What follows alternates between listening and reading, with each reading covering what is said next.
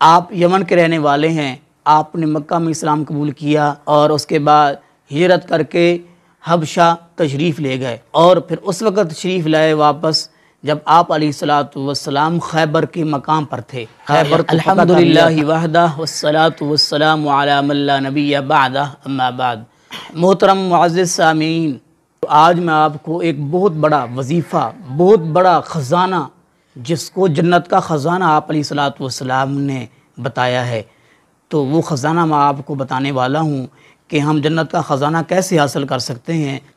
सैदना हज़रत अबू मूसा आशरी रज़ी अल्लाह तन इनका नाम अब्दुल्ला बिन कैस है।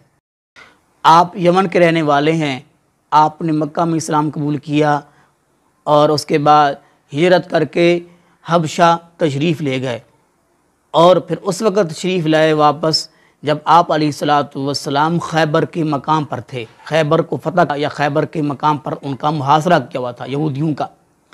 तो फरमाते हैं कि ऊँची एक घाटी आई तो सहाबा करम ऊपर चढ़ने लगे तो ऊँची आवाज़ से वो पुकार रहे थे, अल्लाह अकबर अल्लाह अकबर। तो प्यारे नबी सल्लल्लाहु अलैहि वसल्लम ने इशाद फरमाया, किसी गूँगे बैरे को नहीं पुकार रहे। तुम उसको पुकार रहे हो जो तुम्हारे करीब है, जो तुम्हारे साथ है।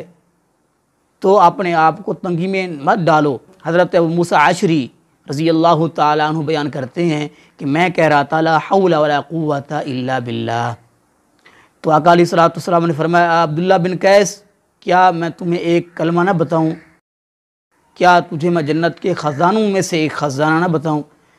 तो सैदना हज़रत अब्दुल्ला बिन कैस, अब मूसा आशरी रज़ी अल्लाह तु कहते हैं कि मैंने अर्ज़ किया अल्लाह के रसूल ज़रूर बताइए। आप अली सलाम ने फरमाया हौला वाला इल्ला बिल्ला ये जन्नत के ख़जानों में से ख़जा